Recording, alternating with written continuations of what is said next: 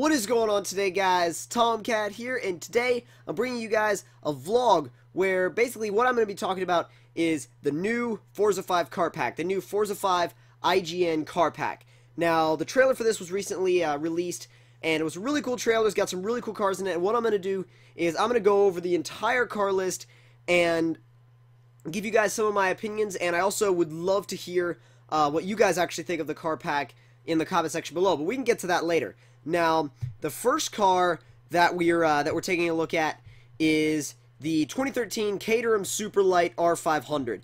Now, the Caterham Superlight is a car that has been around for a really long time, and quite frankly, it's about time it was in Forza. I mean, it, I've been wanting to, to drive a Caterham in Forza for a really long time, and it's going to be fun. It's going to be really, really fun and I'm really excited to race it online, to circuit race it online. It's going to be really fun, no doubt about that. And also because of the fact that it's an open top is going to make it another one of the very few open top cars in Forza, which is going to be really, really fun to use, drive, and just going to make it a really nice experience uh, of a car to use.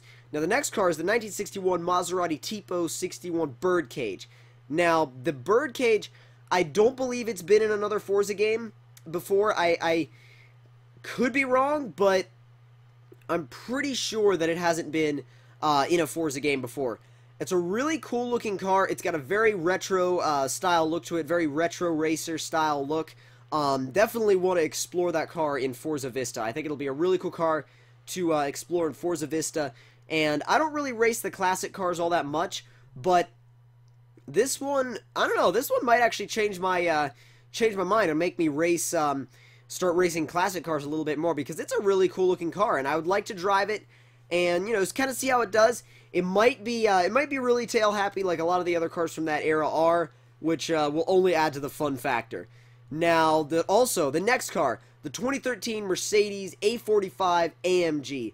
Now the A45 AMG is a little beast. Uh, it is a really cool little car, really cool uh, little all-wheel drive hatchback. Um, it's I'm I'm predicting that this thing is going to be a really really good car, uh, really good all-round circuit car.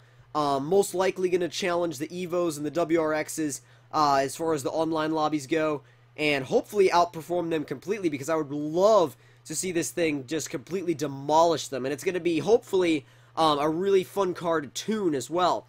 And obviously there's going to be drivetrain swaps for it, so you can also make it into a nice little drift car if you want to, but I'm personally going to leave it all-wheel drive and try and make it a circuit monster, and there will definitely be a build on that for you guys. I will definitely be doing some online racing videos in the A45 AMG when the pack comes out.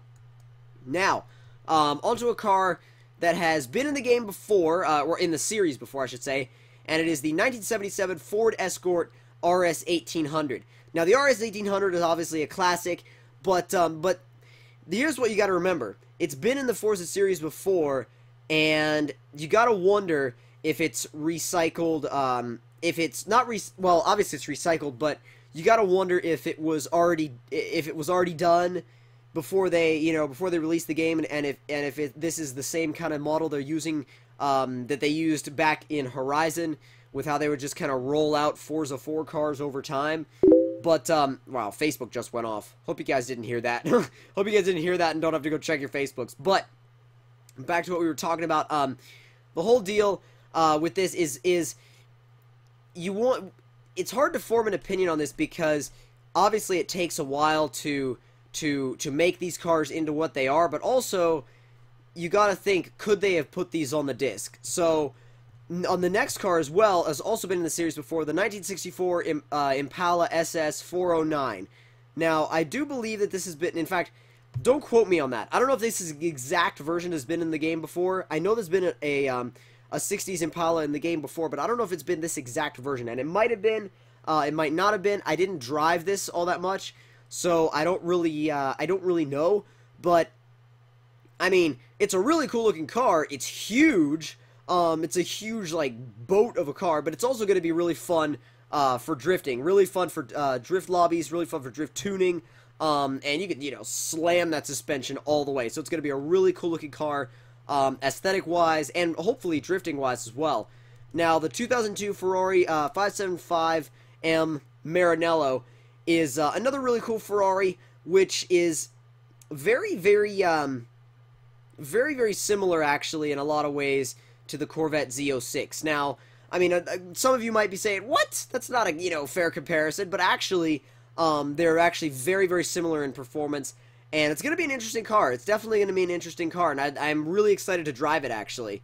Now, the uh, the 08 Lamborghini Reventon, another uh, recycled car, um, but hopefully, you know, we'll have to see if if you know these recycled cars are worth it. I mean, if they put a ton of detail into them and they like just completely overhaul the detail, then you know maybe they'll be worth it. But you know, we'll have to wait and see. Um, and obviously, I have the season pass, so I'll be I will be able to test all these cars out for you guys and give you my opinions on whether or not you should actually drop the money on the pack or not. Now, the Reventon itself, though, really cool car, and I definitely want to explore that thing in uh, Forza Vista. Now, also, the 57 uh, 250 California, Ferrari 250 California, is a really, really cool car with a lot of history, and is most likely going to be one of the most expensive cars in the game. But if I can manage to get enough credits, I would love to do a drift build of it. Love to do a drift build of that car. And um, I actually no, I was about to say this is the last car on the list, but it is not actually. The 1969 Fairlady Z 432. Um, really excited about this car. Always loved the Fairlady Z, but it really should have been in the game from the start. It really, really should have been in the game from the start, and there's no reason why in my mind, there's no reason why they couldn't have put that in from the start. So, on to the next one now, the uh, 1984 Peugeot 205 T16. Now, I never really used the Peugeots all that much. However, however, the 205 T16 is actually a pretty formidable car, and I might actually give it a shot as far as circuit racing and online racing goes because it's a pretty formidable car. And again, I like to I like to kind of test test out cars that I otherwise might not try. And this looks like it might be a really interesting car to give a you know to really try to try out and just kind of give it a shot to see if you know to see if I actually like it or not, and to see if it's something that you know something that I might actually want uh, want to use online. So if you guys enjoyed this video, don't forget to leave me a like. Tell me in the comment section below what you thought of it. And if you're new to my channel, don't forget to subscribe for more. And I will see you guys later.